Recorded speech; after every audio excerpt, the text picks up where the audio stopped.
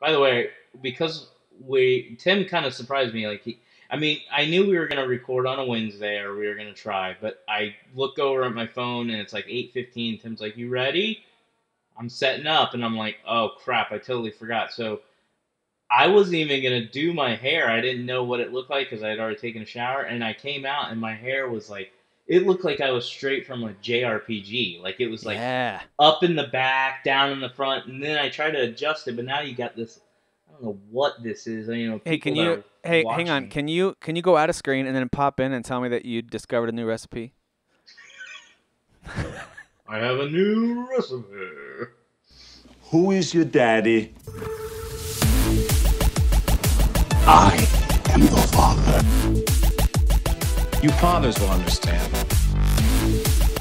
My father taught me many things. I got an idea. How about you all sit there quietly while I make dad noises? Well, here we are with episode 92. We are recording a little early. I did throw a monkey wrench into things, and one of the things about our show that I think a lot of listeners can relate to is that we are uh, not only gamers, but we are also dads, as we've talked about. You know, we've got wives. We're trying to figure out how to balance all this stuff, and just in in my family schedule, Wednesday nights have become far and away the best night for me to record. Anything else can cause some, oh, let's say dis- yeah, let's say drama, let's say Discord. So we can still do it on the weekends. We're gonna try out some midweek recordings here and there, just to you know cut me a break every once in a while. You know, so we'll try it out. That's why this week's a little different because we just recorded like three days ago. Yeah. So for our last episode, and so there's not a ton of stuff that we've been playing that's new. Derek has a few things. Um, but uh, we also want to take time to take a look at this year's console exclusives. So that's really what this episode's going to be about. Um, I'm going to try to give you some bro- some breakdown numbers. I'm going to finish up the yes my nerdy spreadsheet here because I've got some totals that I want to share just to kind of put it into perspective.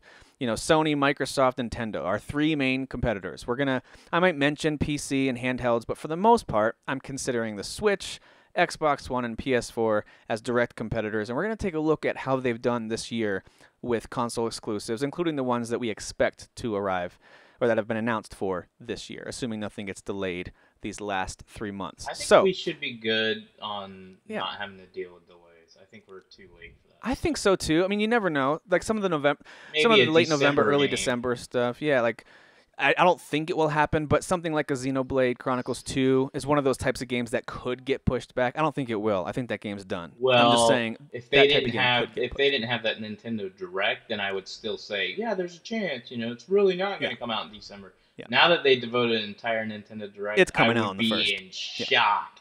it's Like, coming out in the first. They got shock. special editions all over the place. It, it's it's They coming. out. made too many That's- announcements about that game. Yeah, that that thing's coming out.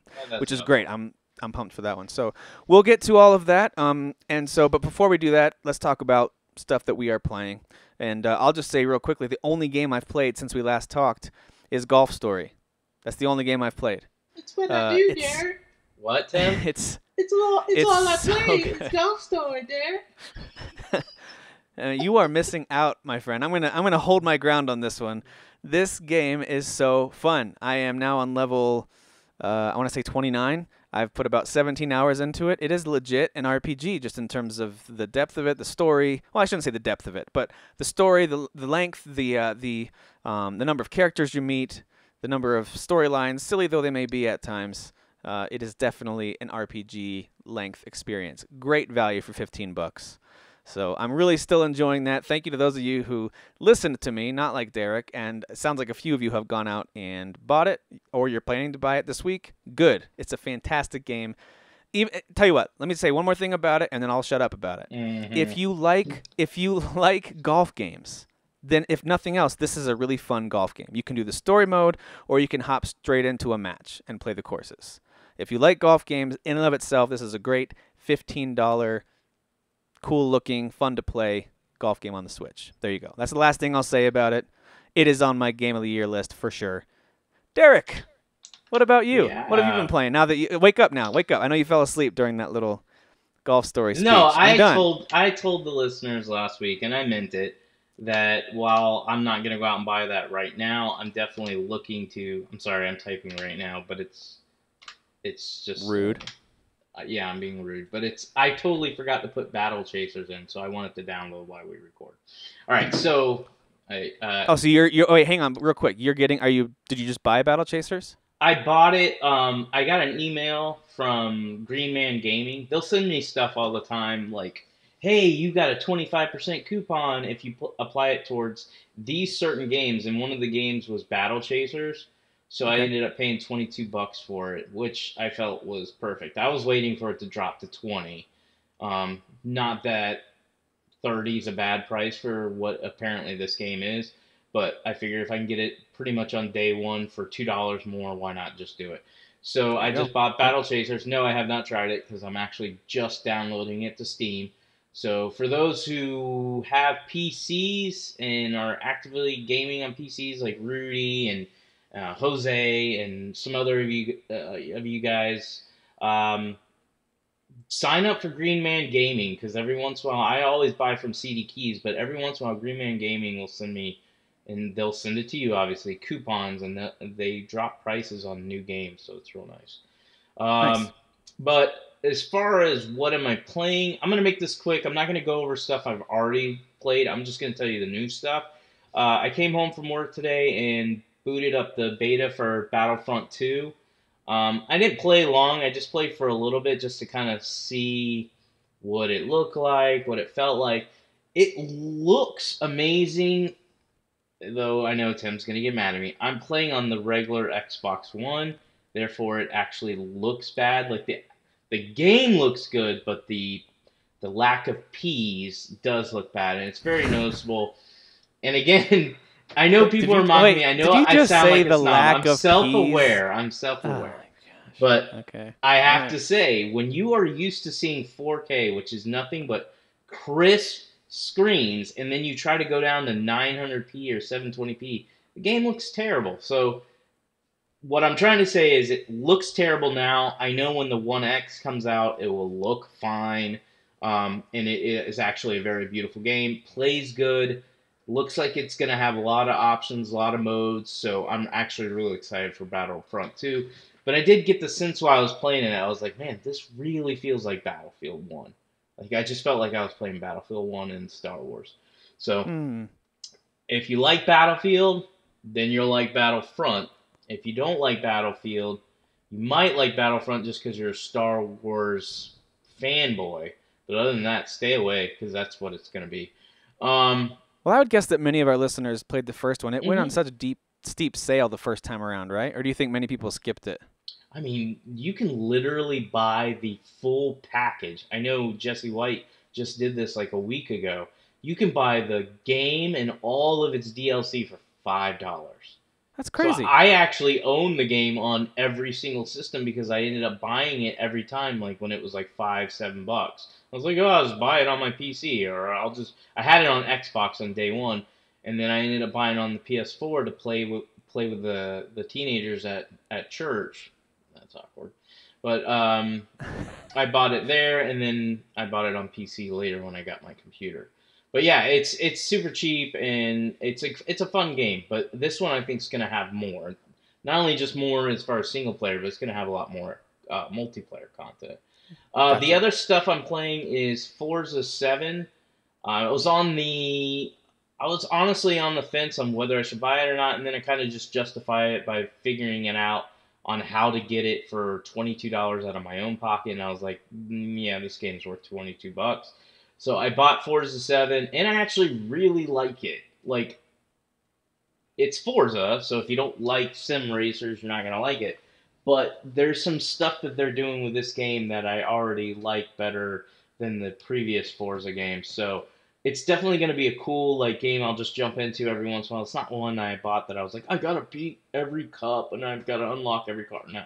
I'll just play it for fun every once in a while and then just enjoy it on my PC and on uh, my Xbox One X when I get that. It's just going to be a pretty game that I can play. Um, and the last thing I want to talk about is uh, I found out today that The Witcher 3 was getting a PS4 Pro update. Might as well uh, give the shout out to where the shout out is due. Who was it that told you? Uh, Dan Phillips. There you go. Dan Phillips is the one that posted about it. And so when I um, got home, I updated that, and I jumped in real quick because I don't know if the listeners remember, but I actually started a second playthrough this year. I got pretty far. I was I was I was doing where I was going from every. I was basically looting everywhere, every area on the map. I wasn't just playing it just to beat the game. I was going everywhere, every question mark, everything. Um, and then I kind of just started focusing on the story, and then about halfway through the story, I stopped. Well, I just jumped back into that to see how it looks, how it plays, everything. It is running a little sluggish at times, but I also think that's because I'm downloading updates for other games. So I think once those games are done downloading, I think it will run better. That, that's just me guessing. Um, but as far as looks, it's pretty on par with my uh, uh, PC version. Um, Hmm. I would actually have to do a side by side, but that's the point. Is That's it impressive. looks good enough for me to say, like for instance, I was talking about Battlefront 2, how it didn't look good on the Xbox One. I don't even need a side by side. I know it does not look as good as anything I've played on PC. The Witcher 3, if somebody was like, "Yeah, I'm playing this on PC," I would totally believe them.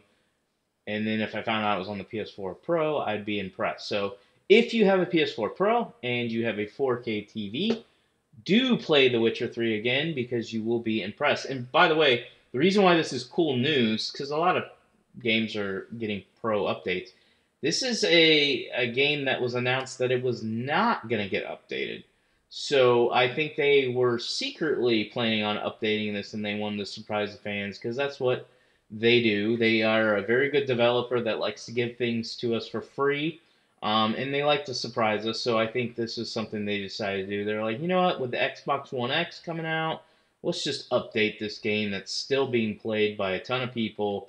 Um, and I fully expect the One X version will look just as good. I do not think it'll look better. I just think it will be on par with the Pro, mainly because I think that's what they're going to do. I think they're going to do one upgrade and put it on both uh, of the uh, the One X and the Pro systems. Um, Gotcha. But anyways, that's that's all I'm Cool. playing right now. Besides the normal stuff, still playing Destiny 2 and all that. But I just want to talk about anything new and uh, check those games out. They're all good. And that is your 4K Life update with Derek Teague. Yes. Oh, one last thing. Battlefront 2, the reason I'm playing it is because I pre ordered it. You can, though, and I will download it on the PS4 Pro and PC.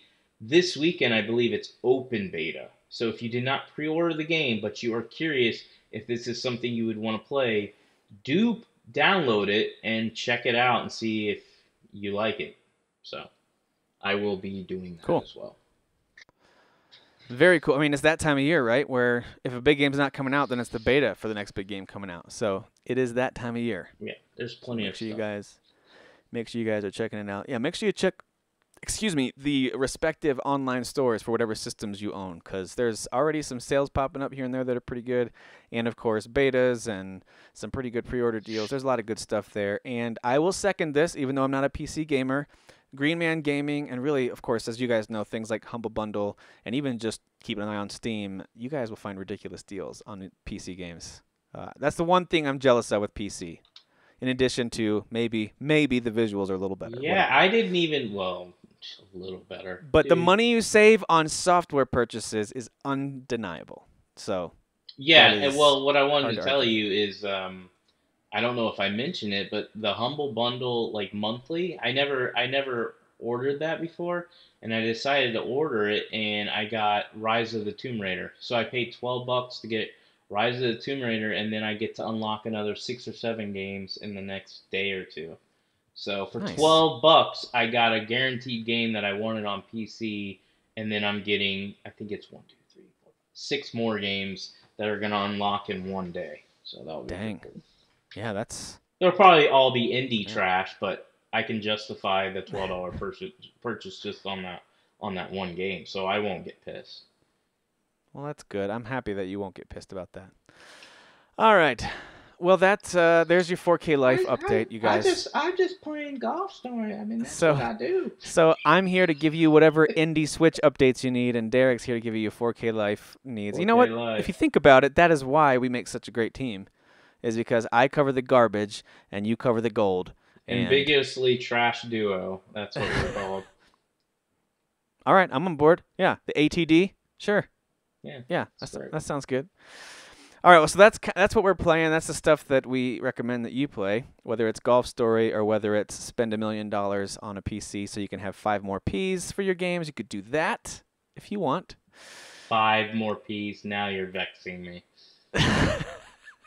Just see, I'm just trolling Derek live here on our recording. All right, so uh, let's talk a little bit about console exclusives for the year. So yes, I'm a nerd. Yes, I like my spreadsheets because they help us see information and break it down a little easier. But in this case, there was only one way to break down this info. There was not one definitive site that I could find that had a really good. Here's how many exclusives are out on each system. Here's how many games that are combos for just two out of the three main systems uh, or with the handhelds or mobile or PC. And so I still don't have that definitive list, but I'm trying to compile one myself a little bit just for our conversations.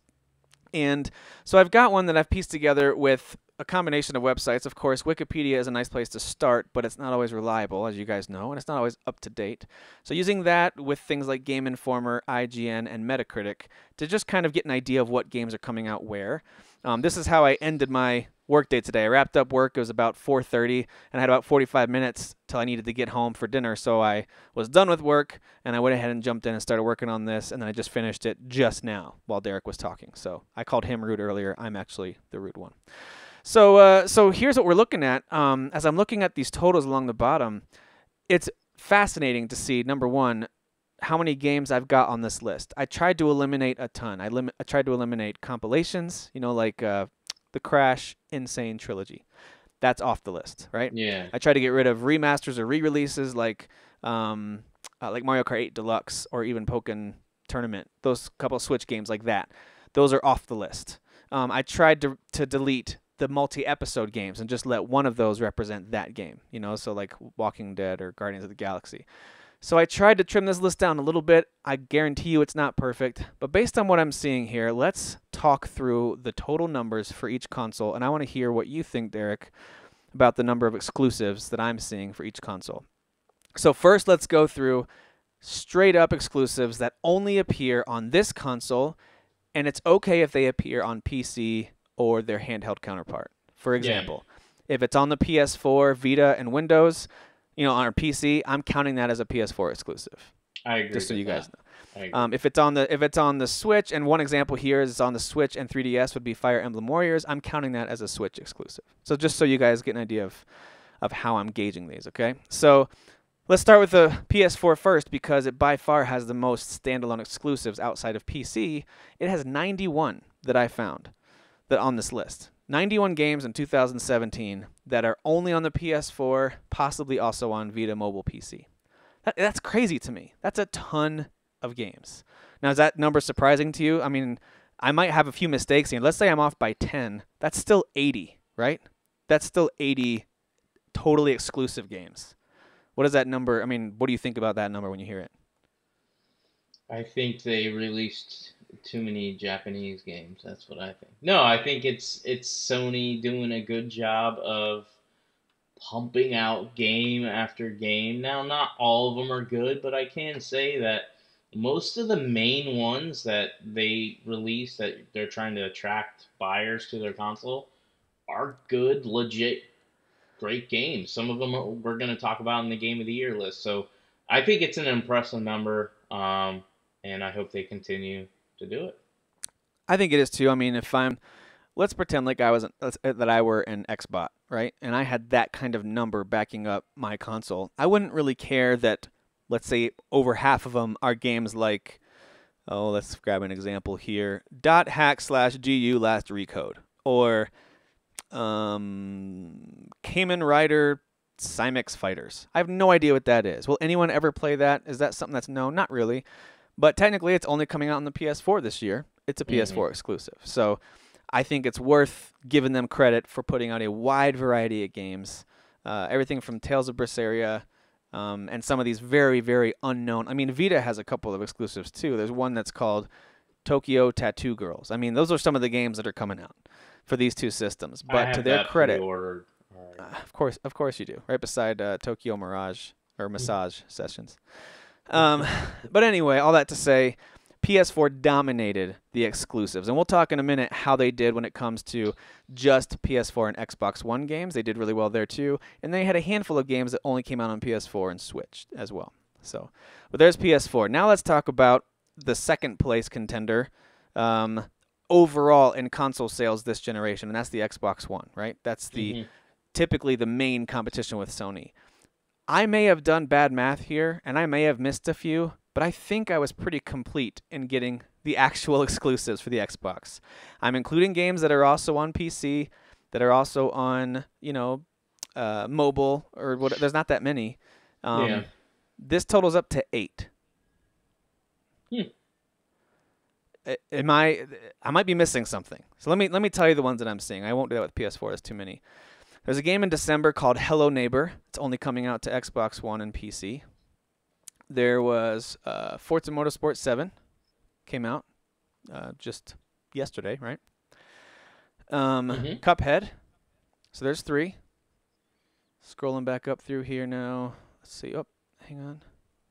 Uh, Tacoma, which is also on PC, but I believe I believe is an Xbox exclusive, at least a timed exclusive. Uh, Fable Fortune. So that's up to five, I think. Hang on, this spreadsheet's going super slow while I'm scrolling up. Of course, I know we've got Halo Wars 2. Um, Ultimate Marvel vs. Capcom 3. I guess that one shouldn't count, right? That's a isn't that a remaster? Uh, that's Ultimate- on the PS4. Is it? Uh, it must have just now released on Xbox. Mhm. That's why it's on this list. All right, so make that seven. That's really sad. Yeah. I just I just eliminated some of their games. All right, uh, yeah, and Halo Wars 2. So again, not a ton of games. Uh, oh, and, and a game called Rise and Shine, which I believe is still only on PC and Xbox as well. Came out in uh, January. Um, Yeah. but the, the good news for Xbox owners. So I know that I do a lot of Xbox One bashing. Like there's times when I look at my purchase and say that was kind of a waste. Like I loved Ori and I really enjoyed Gears 4, but other than that, most of everything else I played I could have experienced somewhere else. Um, just in general. That being said, that being said, um, if you're an Xbox One owner, you still have I'm trying to get to the final count here. I believe it's 83 or 82 um, 82 games that came out this year that were only on Xbox One and PS4, possibly on PC in some of these cases. So you still had a ton of games, major Yeah. releases from Battlefront 2, Shadow of War, and the list goes on. You had Mass Effect. You had a ton of games that still came out. You just didn't have a lot of games that you could look at and say, this is yet another reason that I have this console over the others. So Whereas I would look at PS4 and say, wow, that's a lot of games. Even if only a third of those are worthwhile, even if only one tenth of those is worthwhile, you still have more worthwhile games than the Xbox One has total games. Yeah, I So- think I think with like the PS4 exclusives, I and I'm a person that buys a lot of games. I probably bought maybe I'll buy like ten of them out of the ninety or whatever Yep. you said. Yep. Um, I'm somewhere in that same and range then too. On the Xbox One, I'm not even gonna buy Cuphead probably ever, and so Forza Seven is the only one I'm gonna buy. I didn't buy Halo Wars. I'll buy it when it's like ten bucks, but I won't pay more than that. Well, and shout out to uh, Jesse White. He actually let me borrow Halo Wars 2, which is as soon as I wrap up Golf Story, if I can get that finished before uh, Shadow of War, I do plan on playing Halo Wars 2 because I need to get You some might be able to Xbox game, it, gaming in. but I think once Shadow of War, I think you're done. That's why even though yeah. like I was like Forza, I can justify more because it's more of a casual, just fun game. But then I'm, but right after I bought Battle Chasers, I'm like, yeah, I really want to play this game. Oh shoot! I even said it to myself as I was making the post on Fotka. I'm like, Shadow of War comes out in like six days. So I mean, I'm probably gonna start it, play an hour, come on the show next week, like, so good, I love it, and then never play it again. You know, there's actually you just reminded me. There's actually a reason you should be happy we're recording now and not this coming weekend. Because if we recorded this weekend, I'd be ranting and raving about how much fun I'm having with Stardew Valley on my Switch. Because that's coming out Ugh. tomorrow on the Switch, and I can't wait. So I'm really excited for that too. Yeah. You know, know. and before for the listeners, before we started recording, Tim and I kind of talked for a little bit, and I told him because I pick on him a lot, and he, well, he picks on me, um, but I pick on him probably more. And I was like, oh, you know, I, I want you to know that I do love you, but I legit like hate your gaming purchases. like I get angry over some of your decisions, and so Right. Yeah. Stardew Valley, man, that's worse than Golf Story. Golf Story, I'm on board with. I get it. Stardew Valley, I don't get that game. I do not get at all. I don't understand. People are like, "This game's so much fun." It's ugly. That's one reason. In case people can't see my hand, it's ugly. It's planting stuff. Like really, like that's what you want to do with your video game time? You want to plant stuff? Oh, Hey, just listen, just so you know, that sentiment you just shared, 100% reciprocated, my friend. There's a lot of love on this podcast, and yet a lot of disrespect for the other person's choice of not only At games least- to play, but our game of the year choices. Uh, if you guys haven't, go back and skim place. through some of those. Listening to our reactions to each other's picks, there's maybe there might be 50% crossover. Where we're like, okay, good pick. All right, maybe maybe half of our games, but then there's at least another half where we're like, oh my, that seriously is in your Well, top. like last year was funny because I was complaining about Mafia 3 left and right in the beginning of playing it, and then by the time I finished it, I liked it. You like you saw the faults, but you liked it the entire time. So when I did my top 10, I'm like, he'll be happy that I have Mafia 3 this high. I ended up putting it real high. You actually had it kind of low, and I'm like, Yeah, yeah, I had it like you- in the. and your eight your like final verdict was I liked it, but I didn't love it. I'm like, I'm the one that complained the whole time, yet I had it like in my four spot or five spot. Yeah, yeah, Mafia Three. I'll tell you, it uh, it gets repetitive. All right, so so that's what we've got for the Xbox One. Again, not to bash Xbox One gamers, you actually have a ton to choose from. If that is your console of choice, you technically have right around 89 was- new games new games this year that you can play on your system, and they're gonna I look was gonna great. they're gonna play great.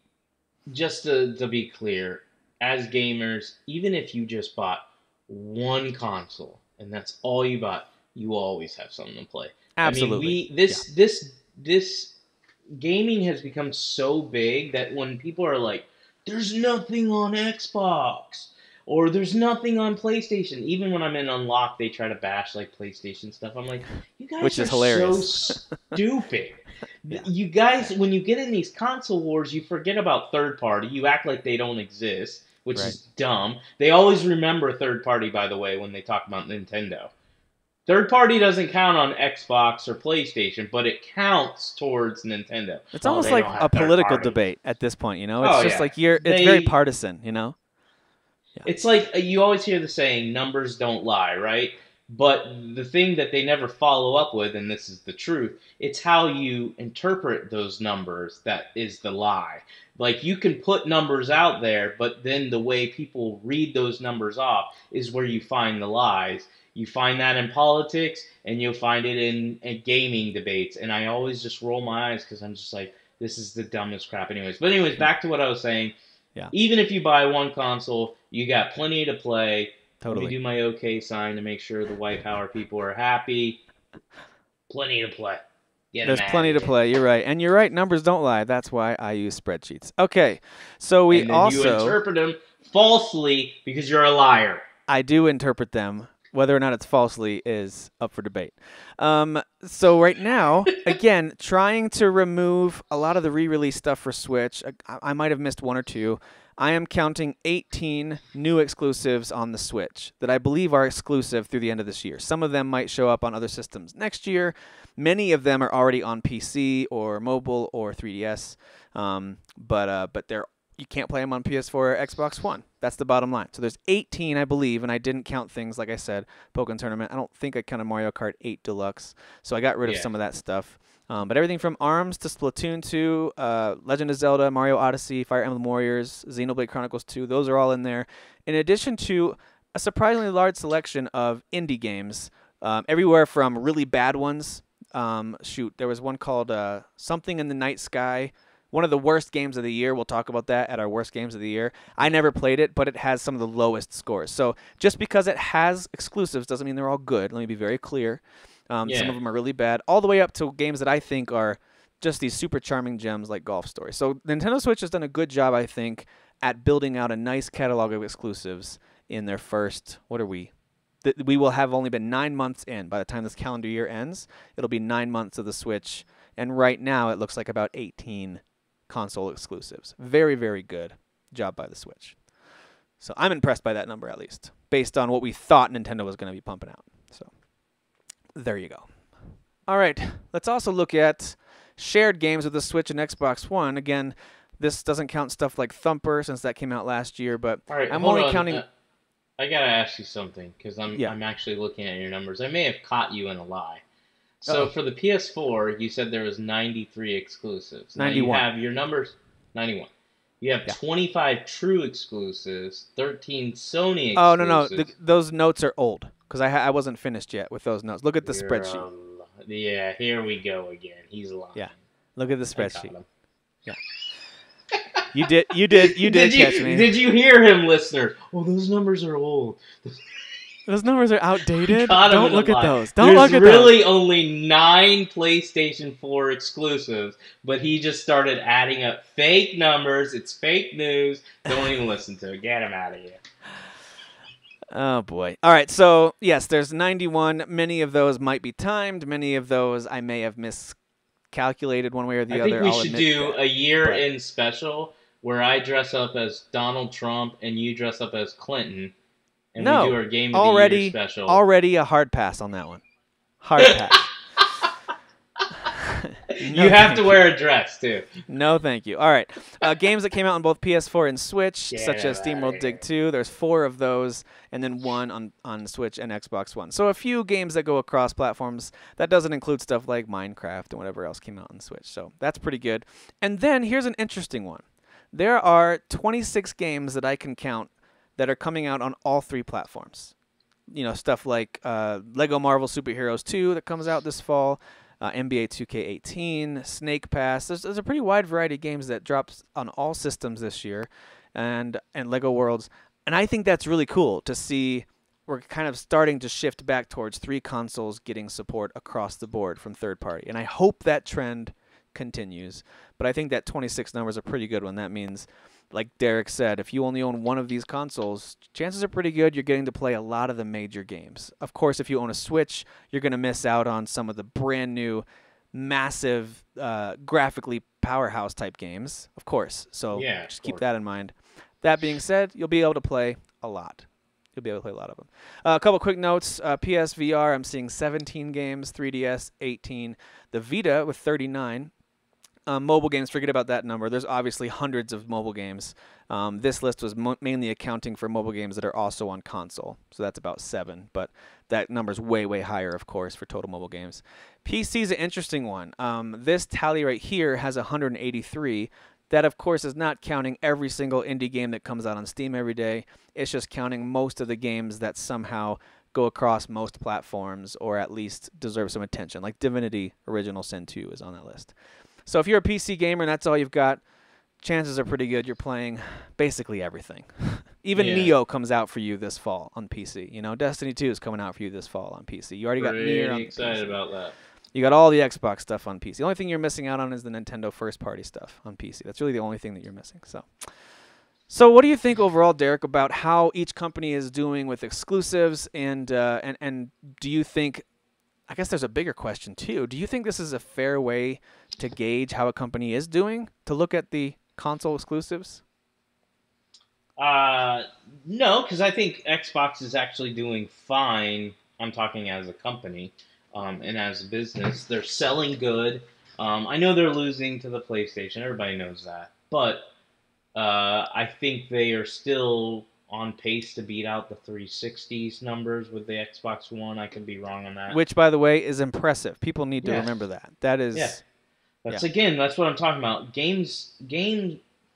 Keep wanting to say games media, but I don't mean the news. I just mean like games in general uh, and console gaming has gotten so huge that uh, these numbers are always just until it starts to fall off, which I do think there will be a point where it does. But uh, these numbers are just going to keep getting higher. So people will look at the Xbox One, and I know there are gamers. I've seen them do it with the way they talk about it. They act like it's a fail, and it's really it's it's doing fine.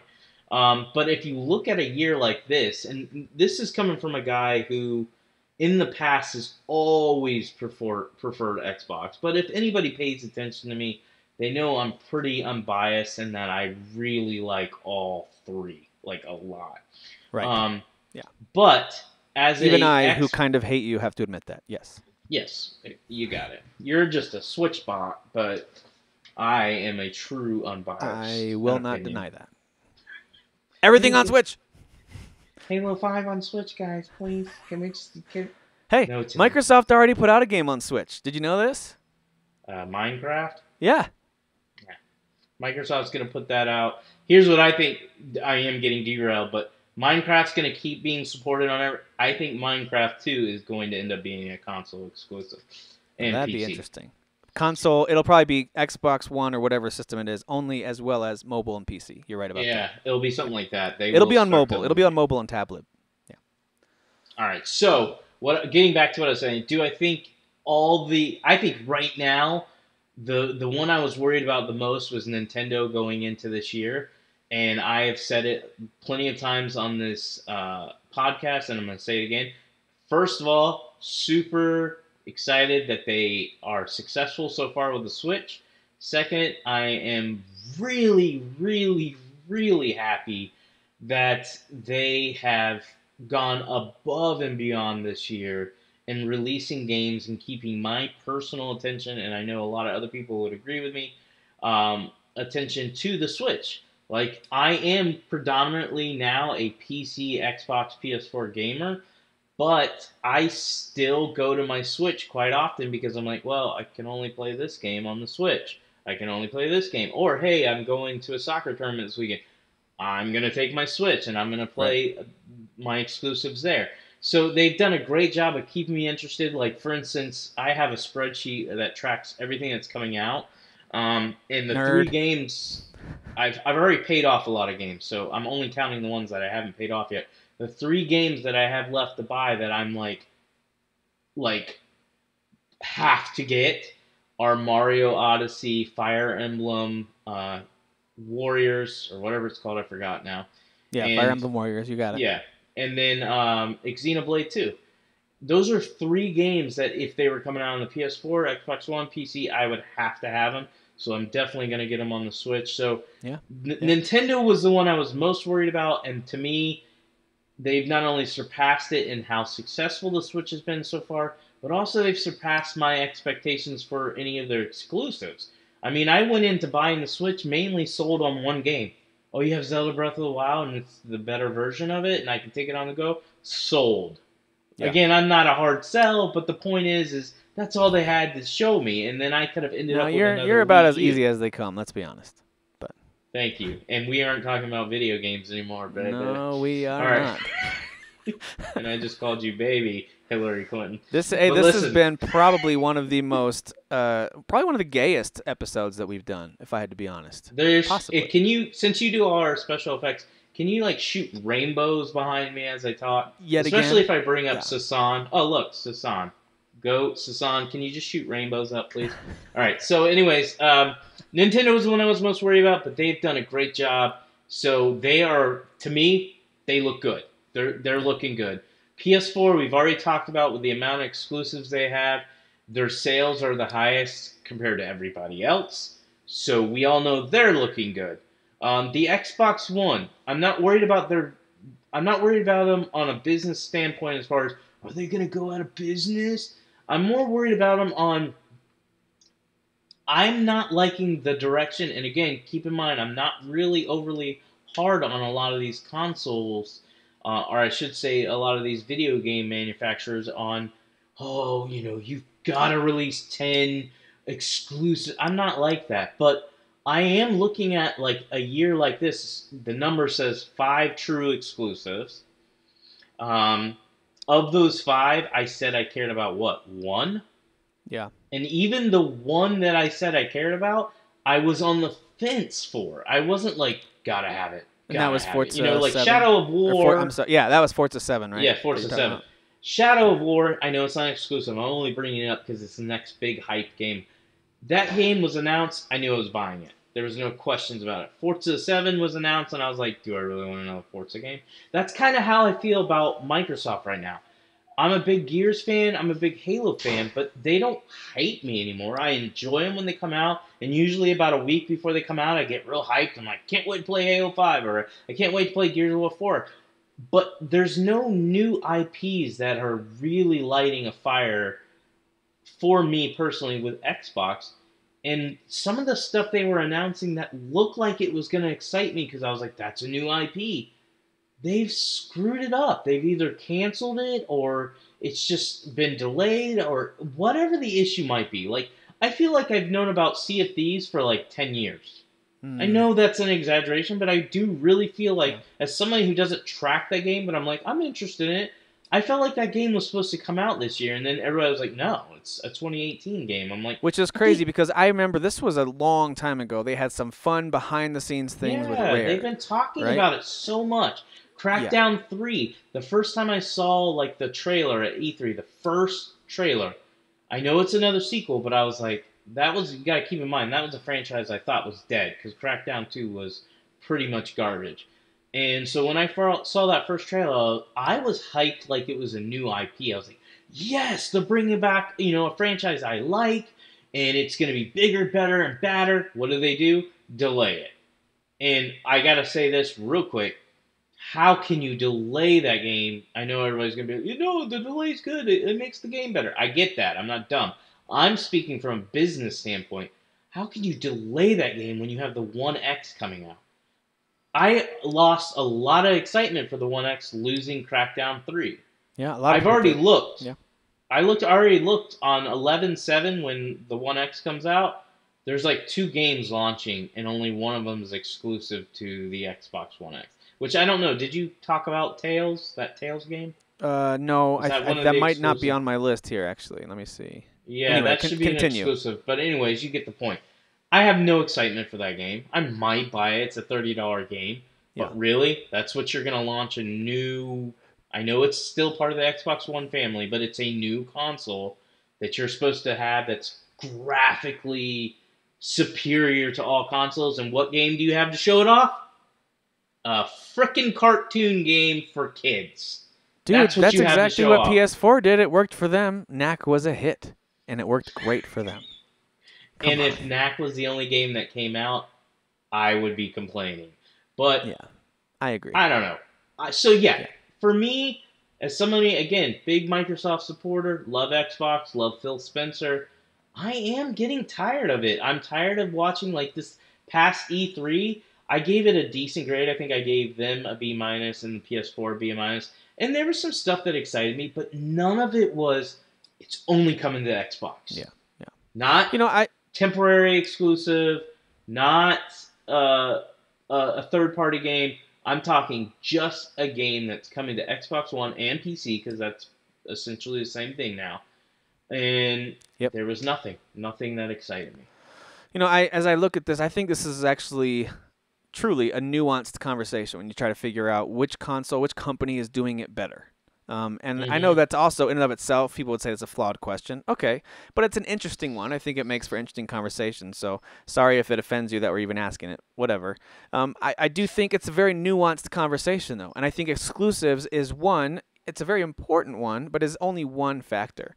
So we're talking about that today because it's something that we haven't really done a tally of exclusives like this before. We've mentioned it in passing how PlayStation has so many more than Xbox does this year, and and how in, in past years Xbox just killed it in the fall, and PlayStation had hardly anything. And so we've talked about this before, um, but we rarely Mhm. break it down by the numbers like this. And so I think it is one factor. It's an important factor, but there's so many more. Everything from the online infrastructure, the actual UI when you load up the system, how quick does it load? Can you jump to the home screen and swap between games? How quick does it load up when it's in sleep mode?